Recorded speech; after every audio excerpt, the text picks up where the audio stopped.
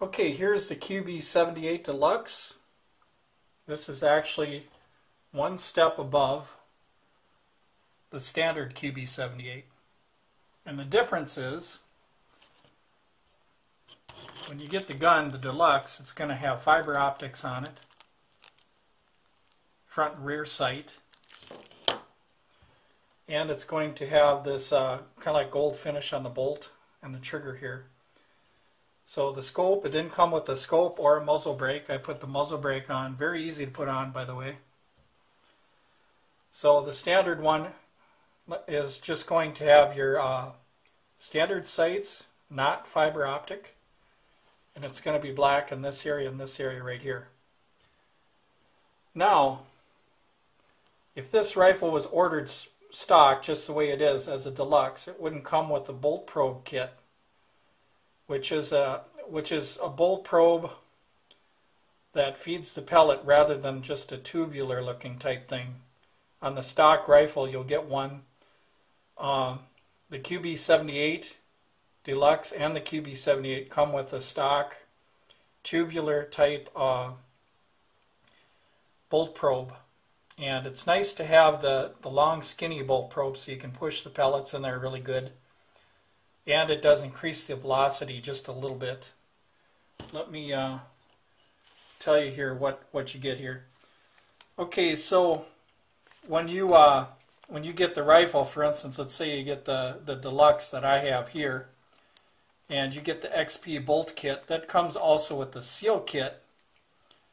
And in that seal kit, um, well, the bolt kit and the seal kit together gives you an extra 100 FPS but at the expense of uh, 50 shots for two CO2s rather than 60. Now the difference between just the XP seal kit and the XP bolt kit is the XP bolt kit comes with the seal kit, which is this right here. And all this does is if you had a stock QB78 Deluxe or just a QB78 Standard, if you notice in here, of what it looks like to be plastic tubing cut right here. This piece goes into the airport right there. That goes into the rifle, and that's kind of wide there, so it allows more airflow into there. So if you just got the seal kit, you know, you get 60 FPS more. Um, if you got the bolt kit, that comes with the bolt and this right here. So basically, if, if it's just, if you get the rifle and it's perfectly stock with no kits coming with it, it's probably going to shoot, I'd say, probably over 60 shots. You'll probably get maybe 70 good shots, but you'll have a lower velocity. So as far as velocities, let me show you what I'm talking about here. And then I'll show you some of the accuracy tests I did, even though it hasn't been broken in yet. So let's take a standard grain weight pellet, like a 7.87 grain. That's doing about 689. Now the stock rifle, without any kit or anything in it, would be somewhere around 600 or something like that. So let me go down to lists here and show you what I got. Um, because I like the bolt probe. So I didn't mind having less shots per fill. And it is pretty much a true 50 shots for two CO2s, good shots. So a 21 grain here pellet, I was shooting, these are the pile drivers, 510 feet per second. 15 grain pellet, these are H&N Sniper, 570. Uh, JSB Monsters, 13.4 grain, 597. Uh, H&N Barracuda, 634. JSB, 10.34 grain, or Air Arms, pretty much the same pellet. These are uh, 647 feet per second. Um, this here is uh, Field Target Trophy H&N, 683. 8.5 grain, that's the Sniper Medium by H&N. 8.44, that's Air Arms Field. That's uh, 686. Oh, by the way, the 8.5 grain is 675. Uh, 7.87 grain, that's uh, JSB exact, 689 feet per second. Uh, 7.33, that's the air arms, round nose, or it could be your JSB RS pellet. And the wad cutters, I use some light ones here. 7 grain R10 wad cutter, 724. Uh, 5.25 grain competition alloy lead free wad cutter, 774. And Crosman SSP wad, uh, wad cutter. It's actually a wad cutter hollow point type pellet. 821 feet per second.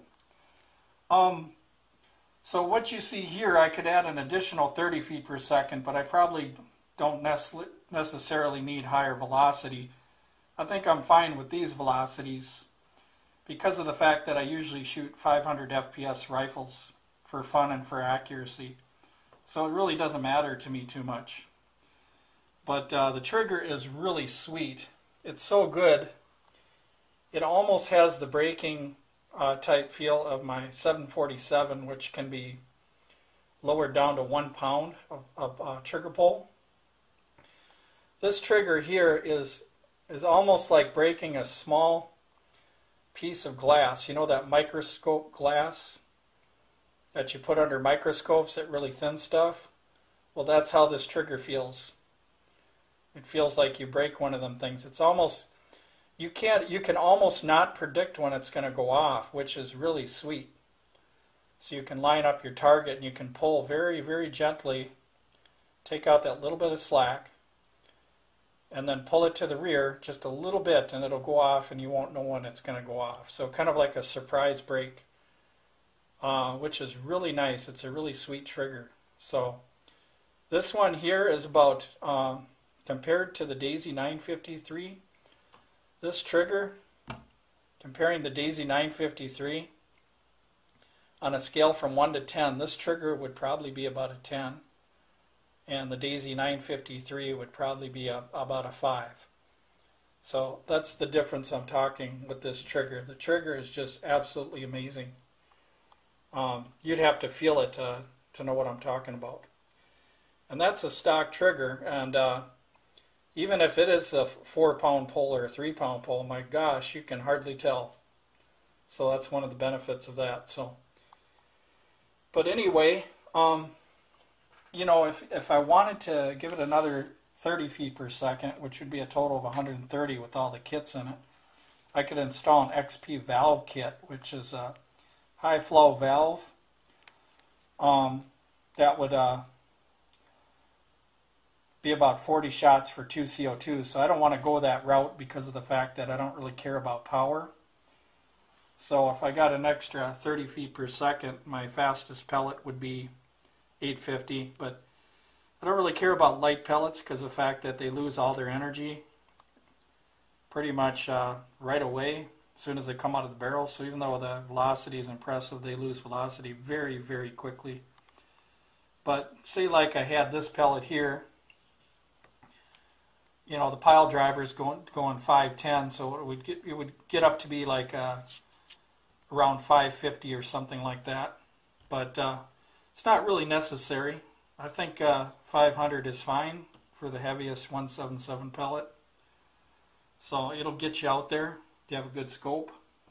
Um, now for the accuracy, I wanted to show you guys for accuracy what we got here. Now, when you get a rifle out of the box, you can't expect accuracy right away because of the simple fact that you're still breaking it in and you have to uh, account for the CO2 gas, you have to account for the recovery. So when you fire your first shot, of course, you're, you're going to let it repressurize until you get to your second shot. But on shots 0 through 30, this is a quarter inch dot. I was keeping it about half dime or under groups right here. These are five shot groups right here. Um, shot 50 right here uh, the pellets started falling a quarter inch down, and that's because of the CO2. But still, fairly good accuracy. So this pellet here is the Air Arms uh, 10.34 grain, by the way. So it just loves them. Here's another one right here. This one was after 63 shots and it's still grouping really well. So, and then this is uh, 69 shots right here. I aimed for this and it hit down here. So I stopped the test because of the fact that it's just, it just doesn't have anything left in it. So basically, I'm thinking, you know, you could get away with 60 shots if you want. You just have to remember that somewhere between 0 and 50 or 60 shots, you're going to drop about a quarter inch. That's all you have to remember. But with mil dot uh, scopes and stuff, it probably shouldn't matter. So out of the box, if you look at this right here and compare that to the quarter inch uh, dot here, that is pretty impressive at 15 yards, I would say. So this one uh, is probably going to be able to go after uh, quarter inch dots at 15 yards once it gets broke in. And I find the you know the best pellet I can for it. So, but uh, she likes heavy, good tight pellets. So cheap ones really don't work too well on this one. So it wants the premium stuff. So far, that's in my tests. I found that out.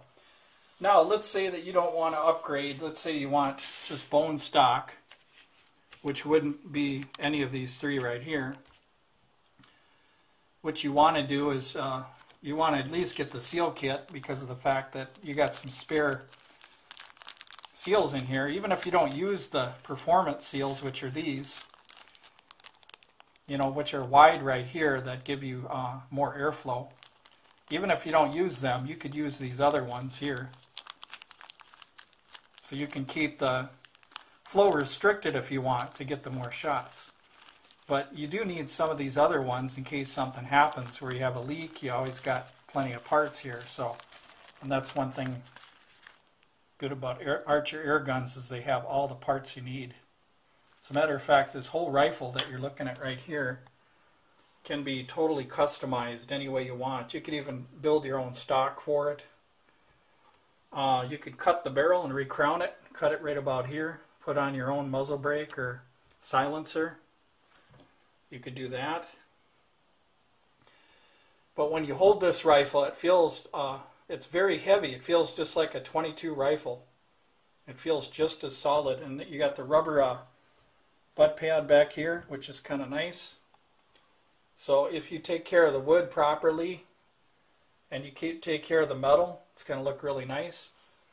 What I'm going to do is, uh, I left the sight on here for now, but if I want to, I could take that rear sight off. But I decided to leave it on here for now.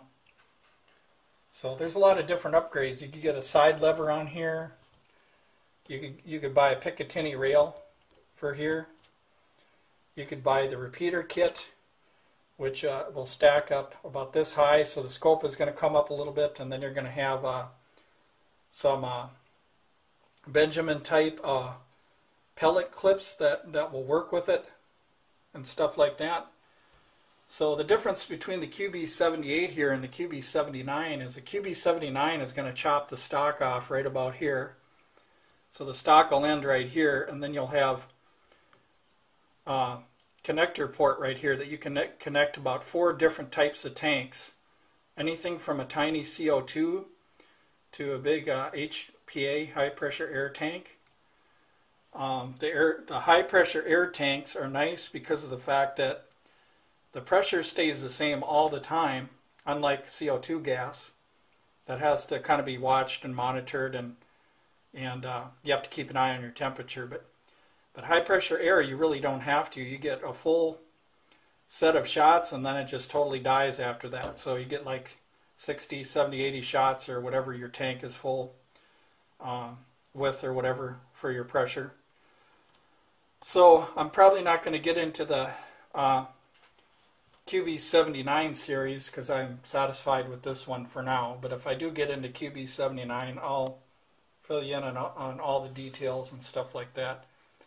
But uh, this camera I'm using right now isn't super high definition. It's 720 but uh, let me see if I can open the bolt here and give you a peek in there. I don't know if you can see that well in there, but uh, so you're looking at the bolt probe. Um, now the factory one, you're just going to see what looks to be kind of like a tube that is the same diameter as the pellet, so it's just nothing but a tube. So it's nice to have that probe. When you load the pellet now, you don't want to load the pellet in the middle there. You want to put the pellet up towards the front and kind of kind of nudge it in with your finger and then close the bolt because uh, sometimes if you close the bolt on the pellet the whole distance you know it might go in uh, and hit the wall there.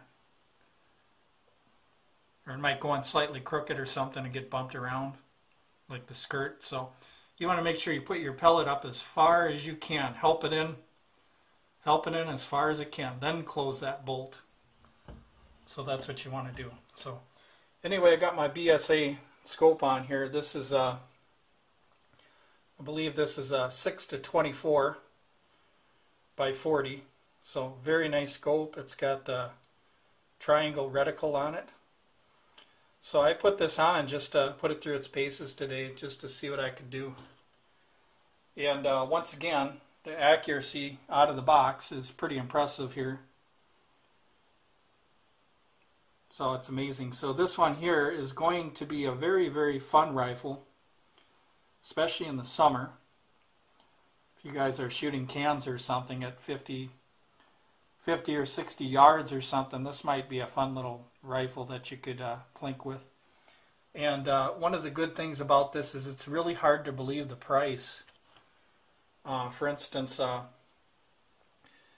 for instance, this one here, I got the uh, gold service with it, which is like an extra twenty dollars. But the rifle is about probably I'd say about 110 or something like that. And then with the gold service, another 20. The reason why I got the gold service is because I I just uh, I just love signatures, and I love when somebody actually inspects the rifle before I do. So it's just I know it I know twenty dollars sounds a lot, but uh, let me go get that paper really quick. So what I'll do is I'll cut off this part of the video and I'll go get that paper and show you what I'm talking about, the gold service. Okay, here we got the gold service and basically what they do is they take the rifle out and they check everything. And uh, they run it through the Chrony and uh, shoot some pellets and stuff, about 10 of them at 10 yards. And this is done on the iron sights, by the way. So obviously if you have a scope, you're going to get better results. And then down here you'll see where they shot in. This square is a half inch, by the way right here, that square. So they got 10 pellets, you know, probably within the half inch zone at 10 yards, and that's iron sights. So you can't expect much, uh, you know, if somebody's got good eyes, it helps. But uh, anyway, uh, the Stoeger X Field was used. These are 8.64 grain pellets. These, these kind of like look like the Beeman uh, silver sting pellets or Spitzkugel from H&N. That's what them are. They're pointed pellets. So anyway, um, the standard deviation on the Chrony is 7.74. Uh, the muzzle velocity average 691.37.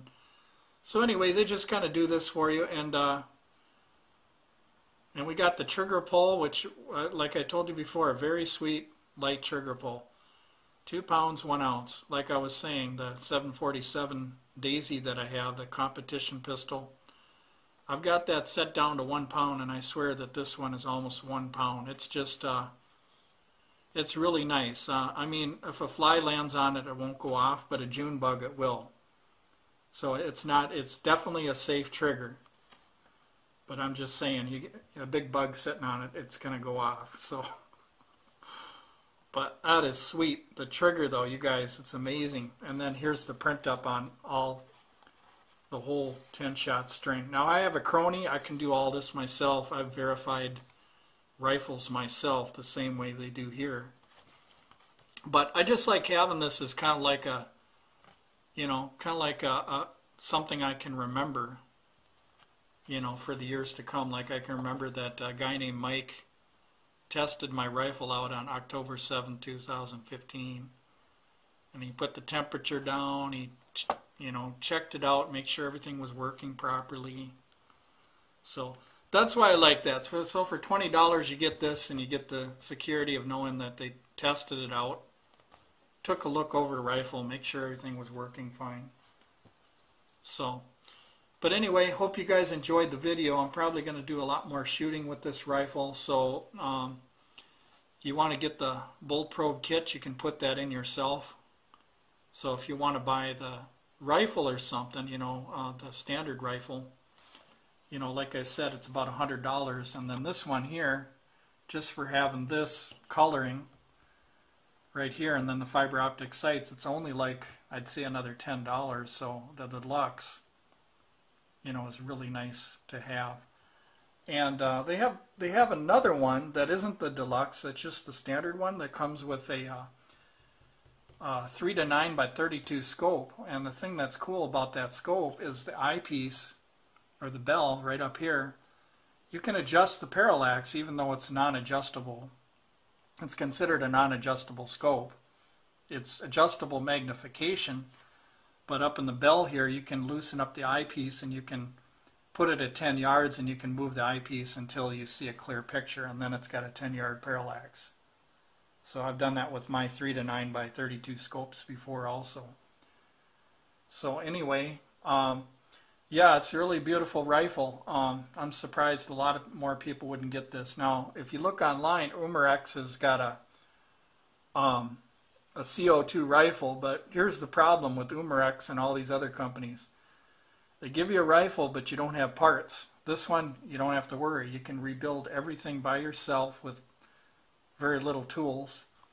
And uh, they're quite, uh, Archer Guns is quite generous, I would say, in the area of seals and re, you know, reseal kits and stuff like that. Um, they usually give you quite a bit. And I've noticed that the prices for parts isn't gouging or anything like that. So it's kind of nice. And you can see down here the bolt probe O-rings. There's two of them in here. So you got two extra right here. You got you got a few extra O-rings for some other parts on the gun here too.